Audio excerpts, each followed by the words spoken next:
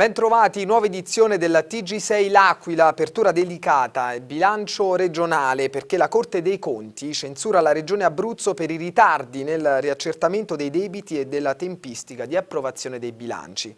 L'assessore Silvio Paolucci spiega però che è impossibile farlo prima del patto di stabilità del governo. Filippo Tronca. Siamo stati tra le primissime regioni in Italia ad averlo approvato il 2 di dicembre, molte altre regioni in giunta sono arrivate tra il 15 e il 20 e anche oltre di dicembre.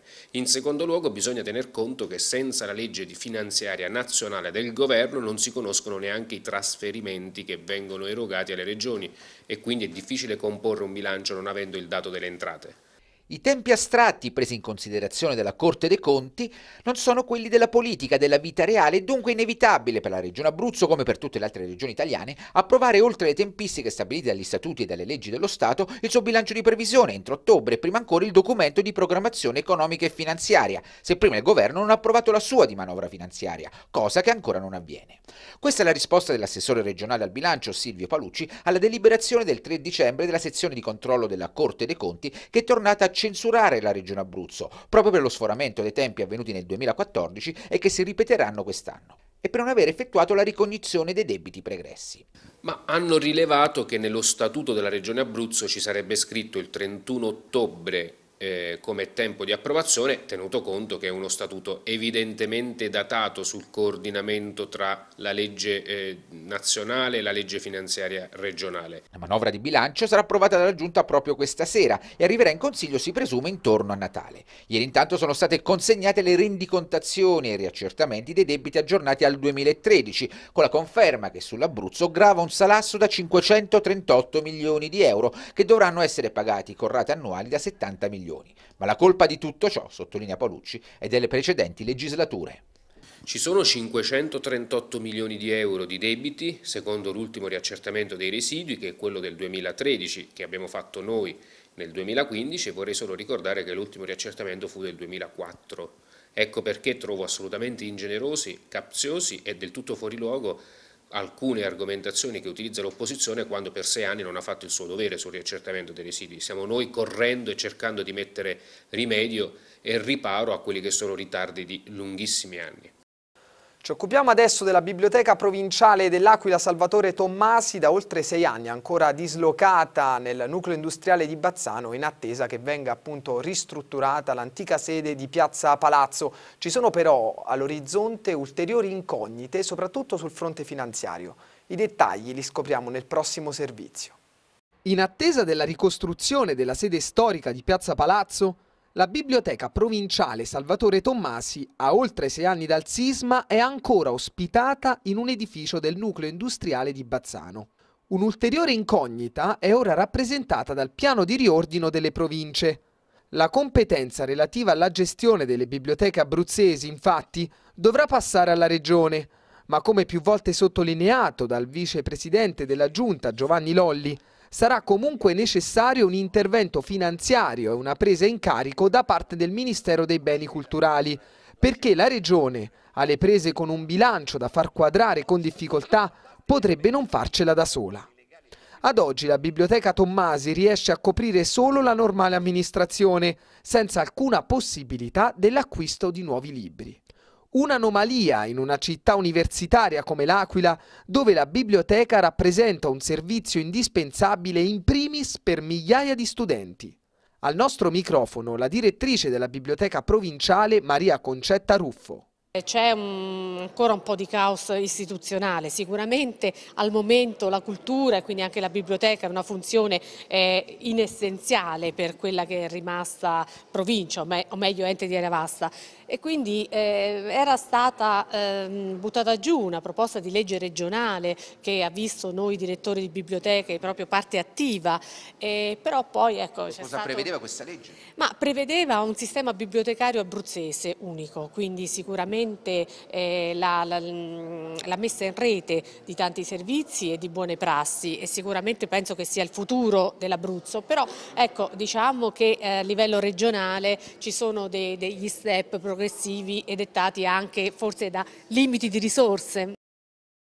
Ci occupiamo adesso del fondo sisma del terremoto perché sarà Susanna Camusso, segretario generale della CGL, a chiudere i lavori dell'evento finale del programma Fondo Sisma che si terrà all'Aquila martedì 15 dicembre all'Auditorium del Parco a partire dalle ore 9.30.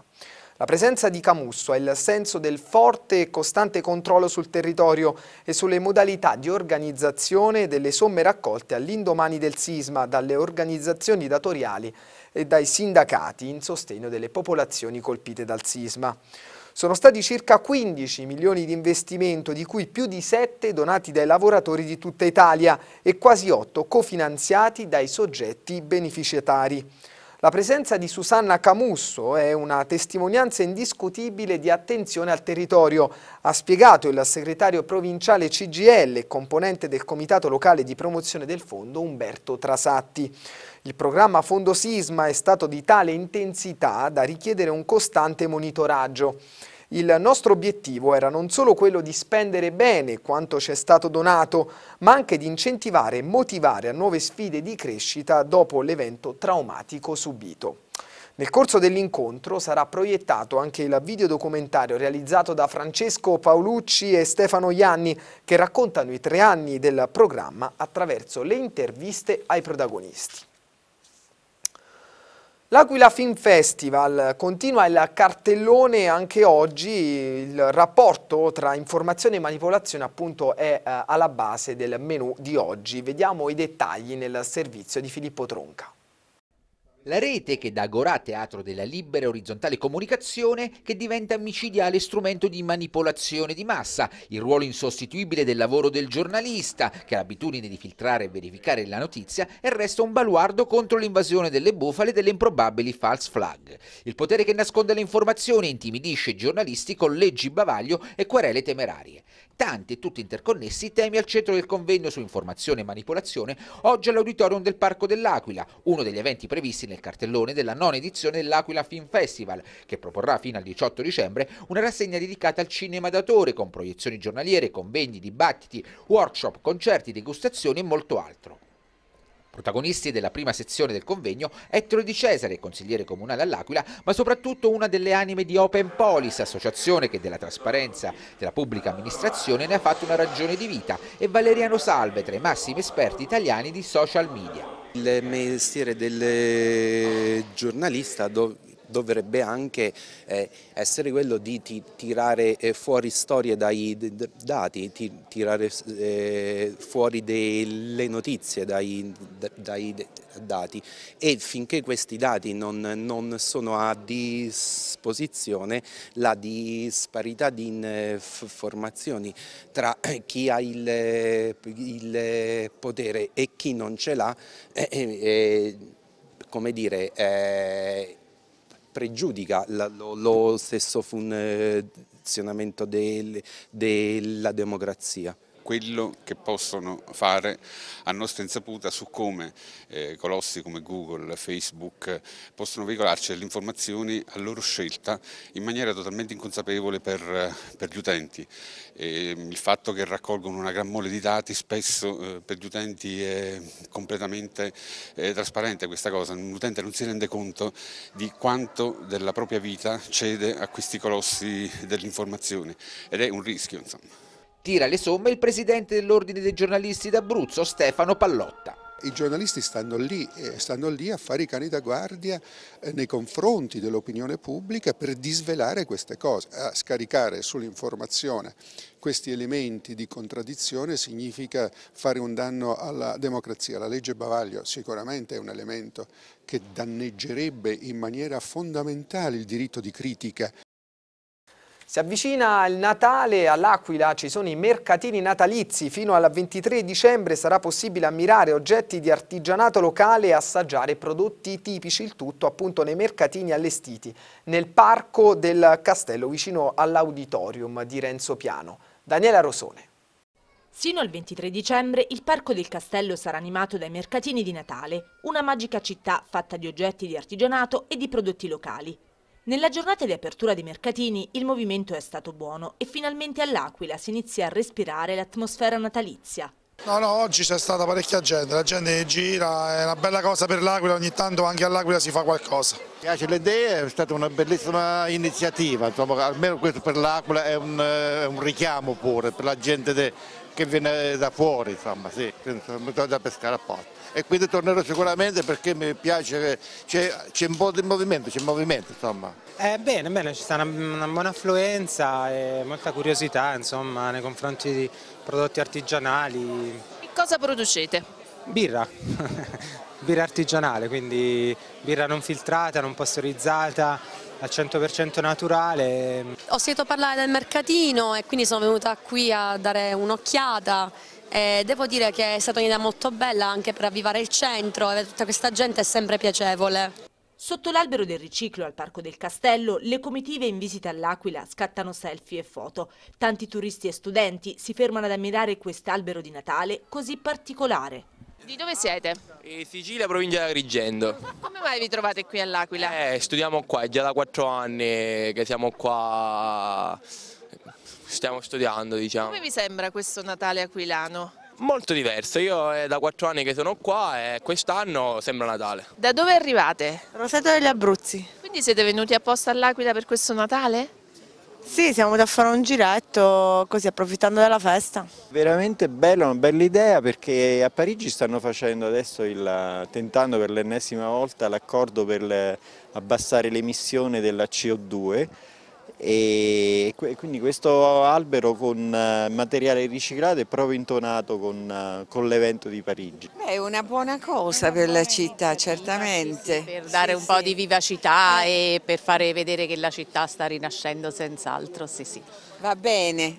Sì, sì. E di quest'albero di Natale, l'albero del riciclo? Bello, bello. Sì, sì, sì, questo è molto sì. bello e anche significativo. Siamo allo sport, parliamo dell'Aquila Calcio presentato ieri pomeriggio all'Auditorium Sericchi il calendario ufficiale 2016, presenti tra gli altri anche il presidente dell'Aquila Calcio Corrado Chiodi che abbiamo sentito ai nostri microfoni. Ascoltiamo tutto nel servizio. A due anni di distanza torna il calendario ufficiale dell'Aquila Calcio che è stato presentato nel pomeriggio di ieri all'Auditorium Sericchi. Alla presenza tra gli altri della squadra, dello staff tecnico e della dirigenza, il direttore generale Fabio Guida Aureli ha spiegato come sia nata l'idea di ripristinare la tradizione del calendario interrotta nel 2013. L'obiettivo è stato quello di riallacciare rapporti con il tessuto sociale e di progettare scatti che ritraessero i calciatori rossoblù nei luoghi più significativi della città. Al progetto, sponsorizzato dall'imprenditore Matteo Gianfelice di Ecodisc, hanno preso parte 13 fotografi aquilani, Fabrizio Tomei, Daniele Di Benedetto, Luigi Baglione, Luca Pitone, Raniero Pizzi, Paolo Baglioni, Stefano Pettine, Maurizio e Simone Santarelli, Chiara Tarullo, Marcello Spimpolo, Roberto Grillo, Manuel Romano e l'ex bandiera dell'Aquila Calcio Giampaolo Rossi, che compare in copertina assieme all'attuale tecnico rossoblù Carlo Perrone. Tra gli scatti c'è anche quello del gruppo aquilano di azione civica Iemon Nanzi, già partner dell'Aquila Calcio in occasione della campagna abbonamenti estiva. Soddisfatto della riuscita del calendario il presidente Corrado Chiodi. Dal 2013 al 2015 torna finalmente il calendario ufficiale importante come segnala la città. Senza dubbio, io ringrazio tutti coloro che hanno aderito a questo progetto, in primis eh, Matteo, eh, che è questo imprenditore che lavora a Milano ma si sente parte eh, integrante dell'Aquila perché è una persona e oltre che essere un tifoso è uno che ci tiene a questo tessuto sociale che noi stiamo cercando di ricreare che con molte difficoltà. E sappiamo tutti che adesso in questo momento eh, le problematiche economiche colpiscono un po' tutti e quindi tutti coloro che fanno sforzi del genere devono essere soltanto pre premiati.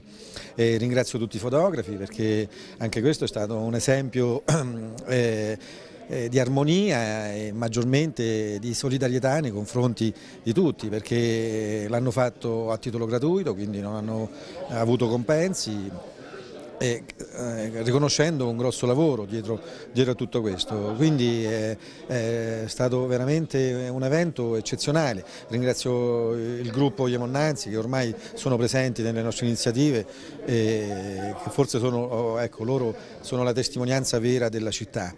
E quindi eh, io sono contento che dopo due anni eh, abbiamo ricreato questo, eh, questo, progetto così importante che, che sicuramente ci, ci aiuterà a stare insieme. Il calendario dei rossoblù è in vendita al costo di 5 euro al momento all'edicola in località San Francesco, all'edicola Agostini di fronte al bar Belvedere, all'edicola di Pettino, a quella adiacente allo Stadio Fattori, alla tabaccheria De Simone e al multiservice di Marco Turzini, ma presto verranno comunicati altri punti vendita sul sito www.l'aquilacalcio.com. È tutto, l'edizione della TG L'Aquila finisce qui, vi ringraziamo per averci scelto, buon proseguimento con i programmi di TV6, arrivederci.